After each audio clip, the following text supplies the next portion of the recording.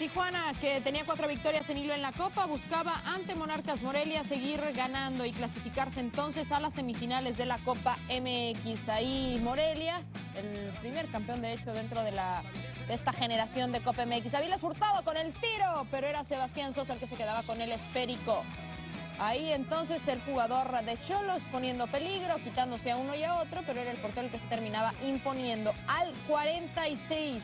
Ojo con lo que viene y es que el árbitro le marca tiro libre indirecto al arquero Purepecha y es el mismo Sebastián Sosa quien se va a encargar de evitar la anotación por parte del cuadro fronterizo, si era la figura en el primer tiempo para el equipo de Monarcas Morelia. Tijuana al 47 seguía siendo amo y señor del partido.